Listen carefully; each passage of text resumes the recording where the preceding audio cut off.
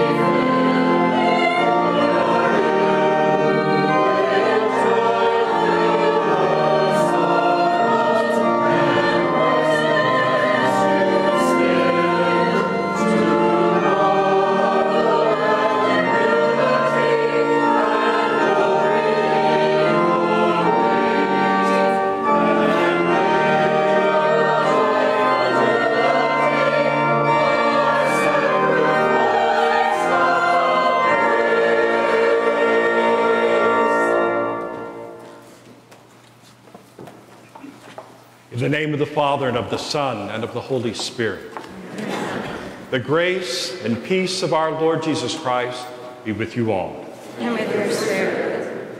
My sisters and brothers, we have completed our Lenten observance and now have begun the solemn celebration of the Easter feast. On these great days, it is our duty to glory in the cross of our Lord Jesus Christ, in whom we have salvation, life, and resurrection. These oils tonight were blessed and consecrated at the Chrism Mass on Tuesday evening by Archbishop Kurtz for use throughout the year.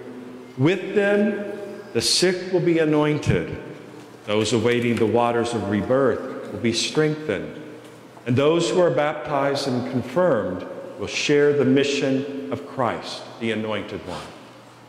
By the outpouring of the Holy Spirit, who fills these oils with life and grace, the saving work of Jesus Christ is continued in the church.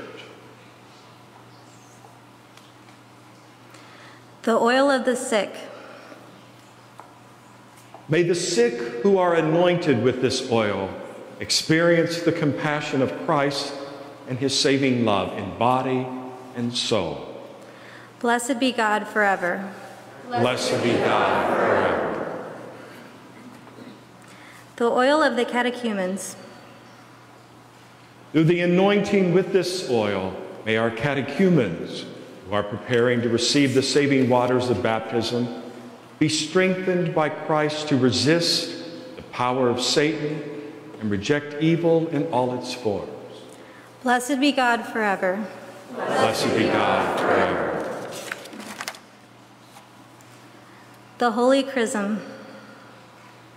Through anointing with this perfumed chrism, may children and adults who are baptized and confirmed, and presbyters who are ordained, experience the gracious gift of the Holy Spirit. Blessed be God forever. Blessed be God forever.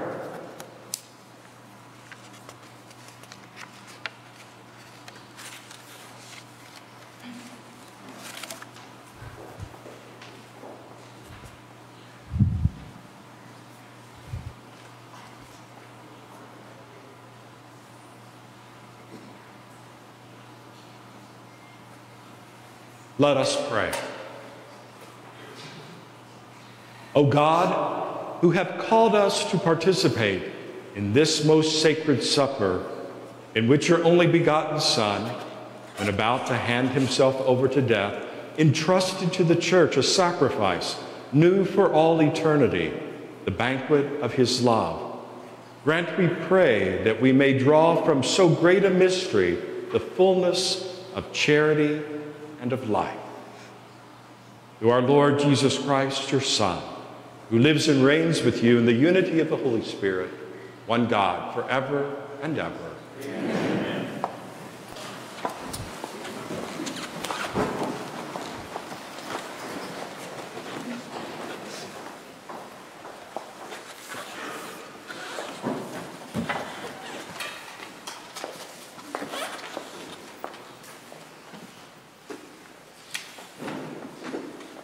A reading from the book of Exodus. The Lord said to Moses and Aaron in the land of Egypt, This month shall stand at the head of your calendar. You shall reckon it the first month of the year.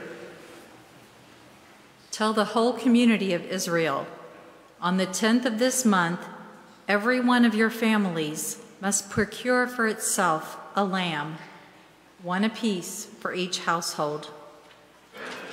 If a family is too small for a whole lamb, it shall join the nearest household in procuring one and shall share in the lamb in proportion to the number of persons who partake of it. The lamb must be a year old, male, and without blemish. You may take it from either the sheep or the goats you shall keep it until the fourteenth day of this month, and then with the whole assembly of Israel present, it shall be slaughtered during the evening twilight. They shall take some of its blood and apply it to the two doorposts and the lintel of every house in which they partake of the lamb. That same night they shall eat its roasted flesh with unleavened bread and bitter herbs. This is how you are to eat it. With your loins girt, sandals on your feet, and your staff in hand. You shall eat like those who are in flight. It is the Passover of the Lord. For on this same night I will go through Egypt, striking down every firstborn of the land both man and beast, and executing judgment on all the gods of Egypt. I, the Lord. But the blood will mark the houses where you are. Seeing the blood, I will pass over you.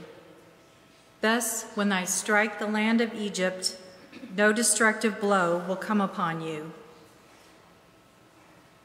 This day shall be a memorial feast for you which all your generations shall celebrate, with pilgrimage to the Lord as a perpetual institution.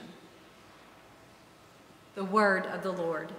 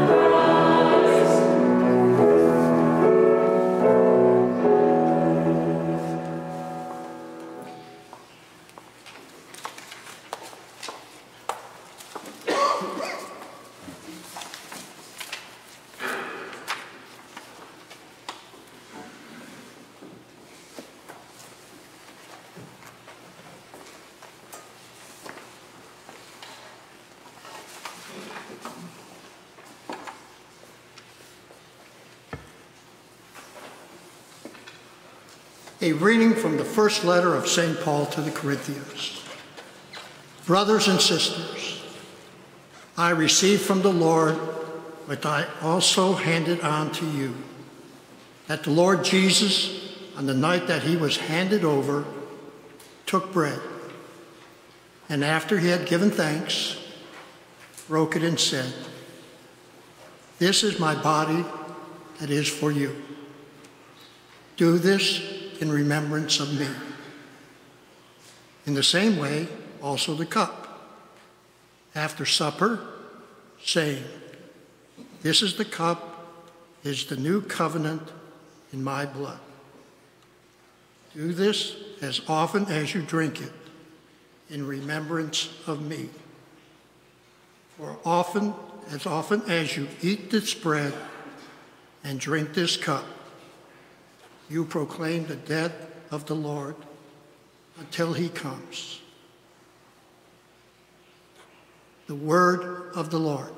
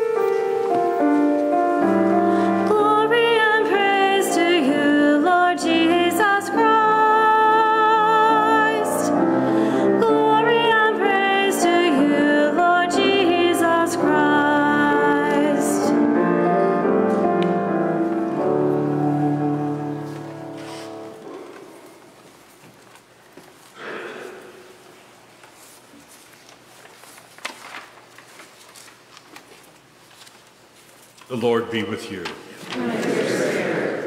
A reading from the Holy Gospel according to John.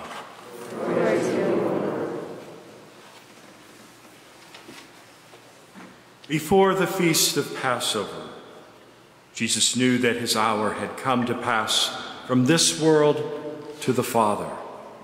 He loved his own in the world, and he loved them to the end. The devil had already induced Judas, the son of Simon the Iscariot, to hand him over.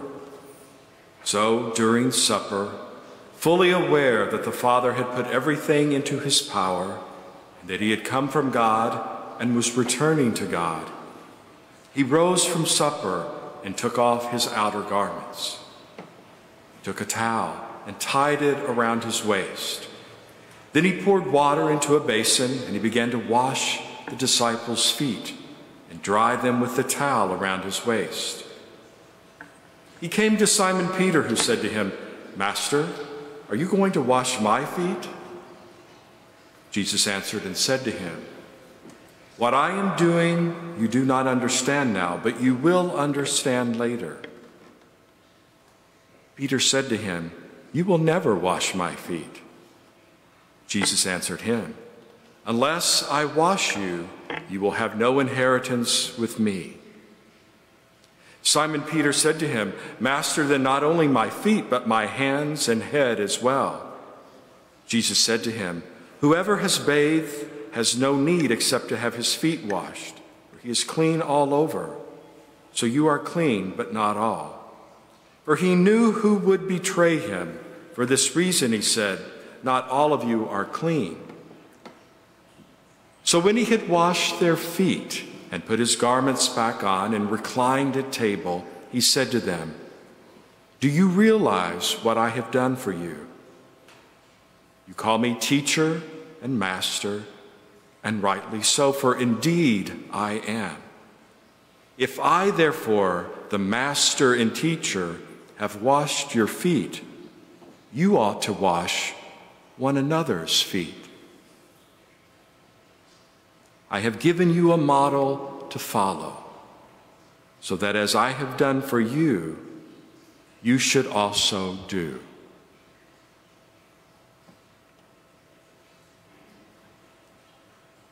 The Gospel of the Lord. Praise you, Lord Jesus Christ.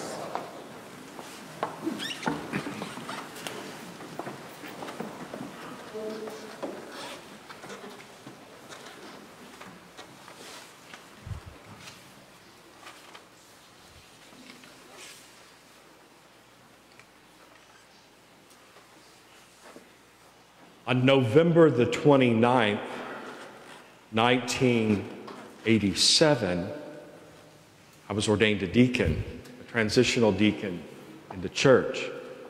And that following Lenten season, I came home and my pastor, Father Wayne Jenkins, put me to work uh, helping in the parish.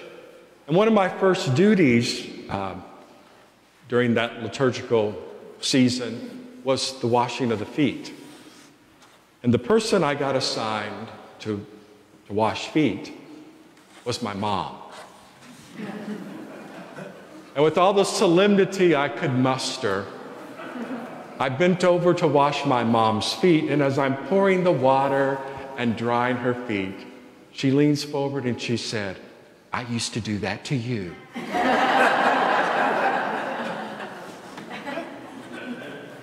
Try to keep a straight face and all that. But tonight, as we gather, there are some things that we're not doing. And suddenly, it almost seems as if we've taken out a, a big moment of our Holy Thursday celebration. And maybe in some respects we have. But look what we've added tonight. We have the choir back that adds so much. We have people back in church. And there's an excitement in the church this evening. Because remember, a year ago, where we were. And I think that we've heard the message loud and clear what you and I are called to be about to follow the teacher and the master and what he calls us to be about. We know what we're called to do. We follow his example. And in so many ways, instead of maybe physically washing someone's feet, we've stepped up and done other things to reach out and do the very love like thing. Maybe it was filling up the bins for Sister Visitor or Scholar House or the Schumann Center or the St. John Center. Or maybe you brought in straws or maybe utensils for the school kids to use. Maybe you've been a sub in the school along the way. Maybe, and you can fill in the blanks. Maybe you don't have to bend over and literally wash someone's feet, but you know the call to service when you see it. And that's what the gospel tonight is about. And it's intimately tied to what we do at the table of the Lord. We learn about our story around the table. We listen to God's word. We hear that call from Exodus, or that beautiful reading, our second reading tonight. And then the gospel that we hear, the example that is set before us. And you and I hear the voice of Jesus as he speaks to us and what he asks of us. Maybe we don't fully understand the mystery that's unfolding, but we will. We will know it, we will recognize it in its fullness. That's what he tells his disciples tonight. And he directs it to Simon Peter. And maybe he ought to know better, but even those closest to Jesus sometimes struggle with what he's trying to set before them. So tonight we gather and we listen with hearts open and hearts excited and hearts beating out of love for not only for God, but for God's holy people. We gather in prayer this evening.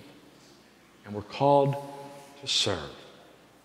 That intimately tied to being nourished and fed on the Word of God and on the gift of love itself, Himself, we're called to take that love and share it in the world to put it in service. And sometimes it does mean getting down on our hands and knees to serve our sisters and our brothers. And so, as we meditate on the holy word of God and continue to reflect more deeply on the mystery that unfolds before us, tonight a mandate is given, and it's a call to love, a loving service to our brothers and our sisters. So look around tonight. Maybe you're seated in a pew with a family member, and at the sign of peace, you will give that sign of love to your family member and maybe turn and a gesture of love and peace to a family member or a friend that you haven't seen in a while. But a joyous call tonight as we begin the celebration of the Triduum, those holy three days, begins with the institution of the Lord's Supper. And it's not just a meal, it's a gift of love to you and to me. And as we celebrate it, it gives us the courage and the strength and the energy to do the things we need to do as faithful disciples of Jesus. So, as we continue our prayer this evening, we continue to, to think about, to pray about, to reflect on what does Jesus call us to be about? What does he call me to? What does he ask of me? Maybe, like a Simon Peter, we struggle with it, but in the end, we will know. The gift of loving service, and he shows us how.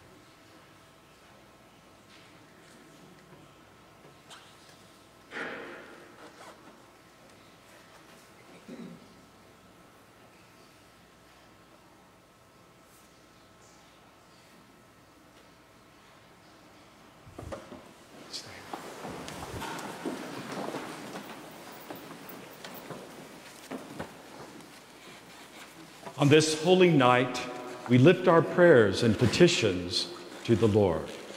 Our response is Loving God, hear our prayer. That all members of the church might be strengthened and sanctified by the celebration of our most sacred feast, the Holy Triduum, we pray. Loving God, hear our prayer. That all peoples of our broken world might come to know the tender, compassionate, and saving love of Christ, we pray. Loving God, hear our prayer. That those who seek the Easter sacraments during these holiest of days embrace their future as a disciple of Christ, we pray. Loving God, hear our prayer. That all gathered here might humbly love and serve one another as Jesus commanded at the Last Supper, we pray. Loving God, hear our prayer. Saving God, you have called us to yourself through the witness of Jesus, your Son. Hear our prayers that we might celebrate these holy days with reverence and fidelity through the same Christ our Lord. Amen.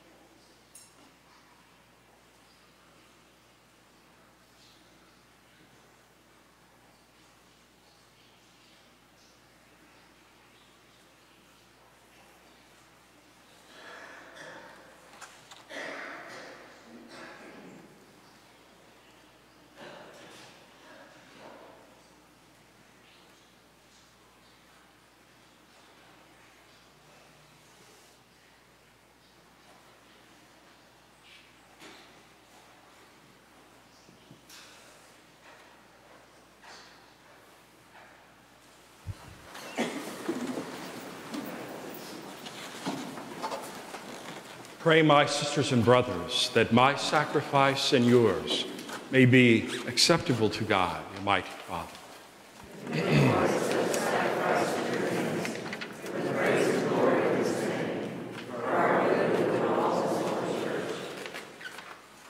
Grant us, O Lord, we pray, that we may participate worthily in these mysteries. For whenever the memorial of this sacrifice is celebrated, the work of our redemption is accomplished. Christ our Lord. Amen. The Lord be with you. Lift up your hearts. Let us give thanks to the Lord our God. It is right and just. To you, therefore, it is truly right and just, our duty and our salvation, always and everywhere to give you thanks, Lord, Holy Father, Almighty and eternal God, through Christ our Lord. For he is true and eternal priest who instituted the pattern of an everlasting sacrifice and was the first to offer himself as the saving victim, commanding us to make this offering as his memorial. As we eat his flesh that was sacrificed for us, we are made strong. And as we drink his blood that was poured out for us, we are washed clean. And so, with angels and archangels, with thrones and dominions, and with all the hosts and powers of heaven, we sing the hymn of your glory, as without end we acclaim. Holy, holy, holy Lord, God of hosts, heaven and earth are full of your glory. Hosanna in the highest. Blessed is he who comes in the name of the Lord. Hosanna in the highest.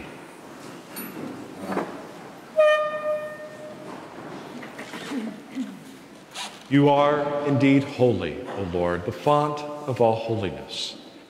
Make holy, therefore, these gifts, we pray, by sending down your Spirit upon them like the dewfall, so that they may become for us the body and blood of our Lord Jesus Christ. At the time he was betrayed and entered willingly into his passion, he took bread and giving thanks, broke it and gave it to his disciples, saying, Take this, all of you, and eat up. For this is my body, which will be given up for you.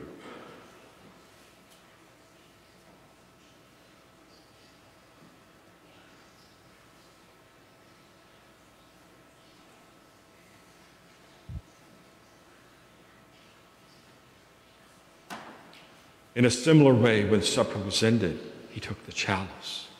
Once more giving thanks, he gave it to his disciples, saying, Take this, all of you, and drink from it. For this is the chalice of my blood, the blood of the new and eternal covenant, which will be poured out for you and for many for the forgiveness of sin. Do this in memory of me.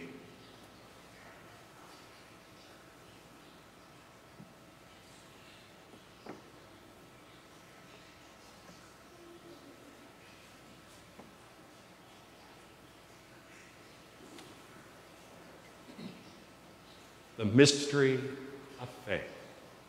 When we eat this bread and drink this cup, we proclaim your death, O Lord, until you come again.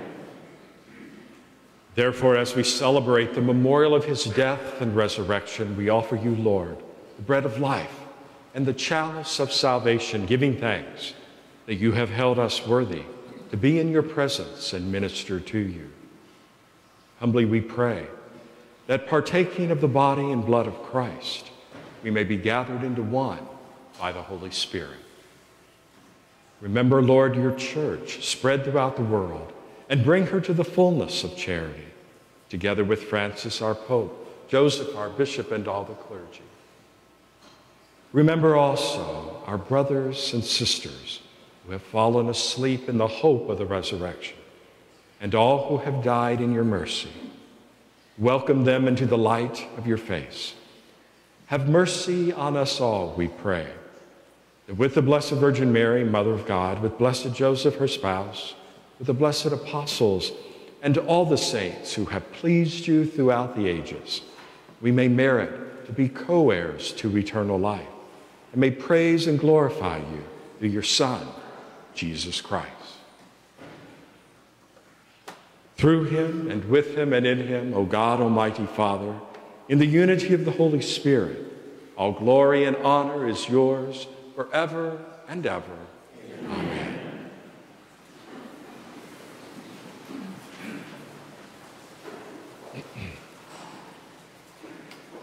At the Savior's command, informed by divine teaching, we dare to say, Our Father, who art in heaven, hallowed be thy name.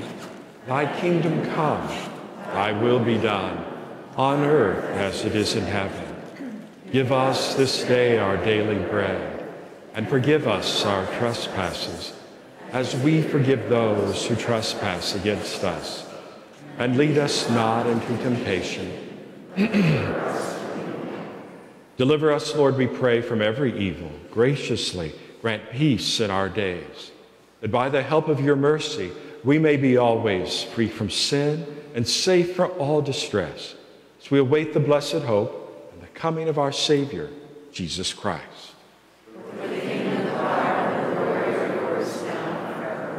Lord Jesus Christ, who said to your apostles, Peace I leave you, my peace I give you. Look not on our sins, but on the faith of your church, and graciously grant her peace and unity in accordance with your will, who live and reign forever and ever. Amen. The peace of the Lord be with you always. With if you're in a pew with a family member, a loved one, please offer now the sign of peace. If not, a gesture of peace to your neighbors and friends and to those at home watching the live stream, God's peace and love with you today.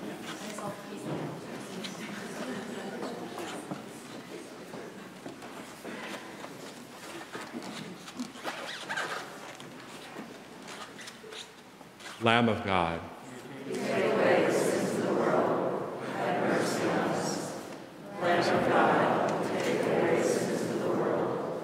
Have mercy on us. Lamb of God, take away the sins of the world.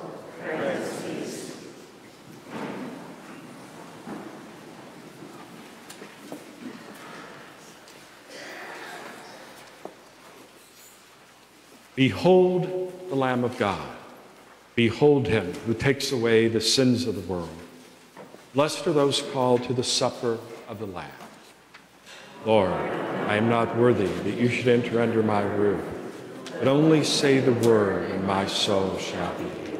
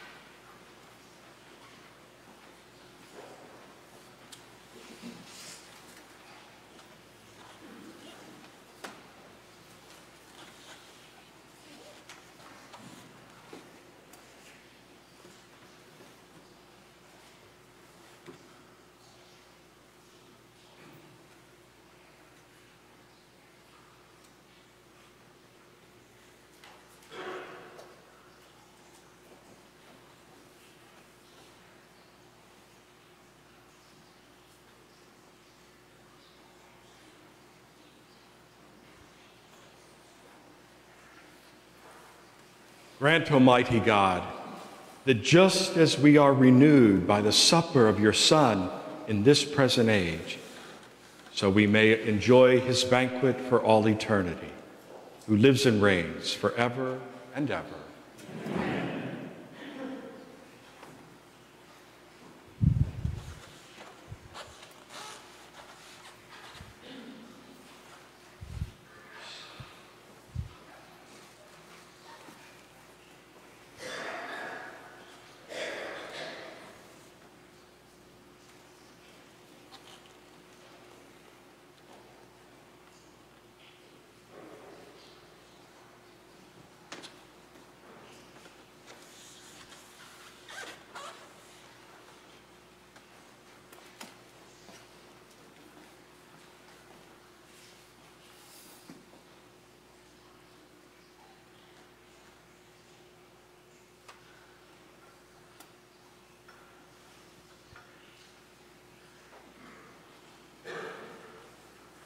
is nieuw.